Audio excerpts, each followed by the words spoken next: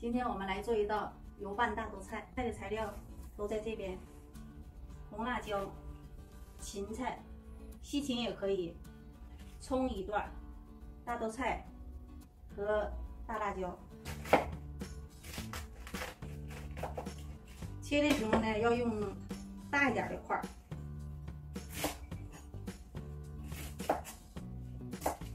切成这种方块啊、三角块都可以的。我们把切好的菜都放到一个容器里面。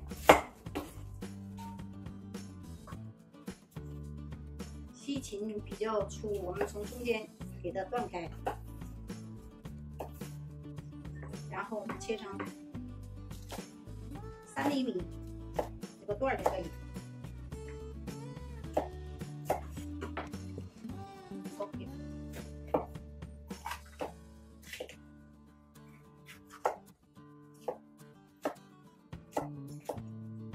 青椒我们一个就够用了，把葱也切成三厘米的小段。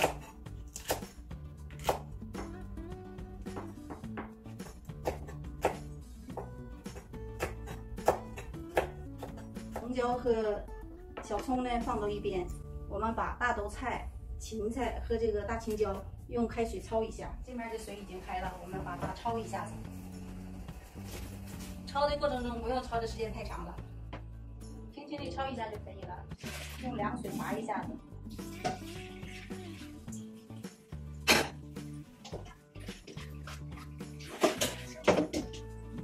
我们稍微把水瞪一瞪，这个小辣椒吧不用焯，直接生拌就可以了。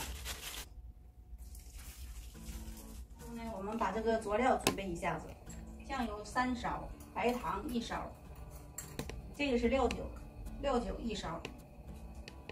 蒜是一小勺，我们把牛肉粉一小勺放到里面，油，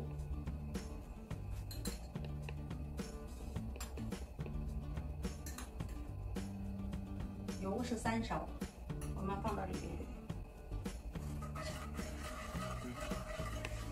这样搅拌一下子，我们烧开。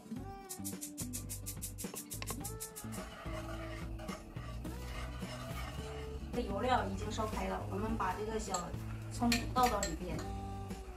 这个提色我们高一点点老抽，这样我们就完成了。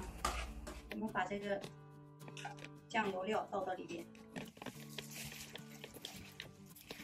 有拌大头菜的合乎自己的胃口，要是稍微淡点的，我们再加一点盐。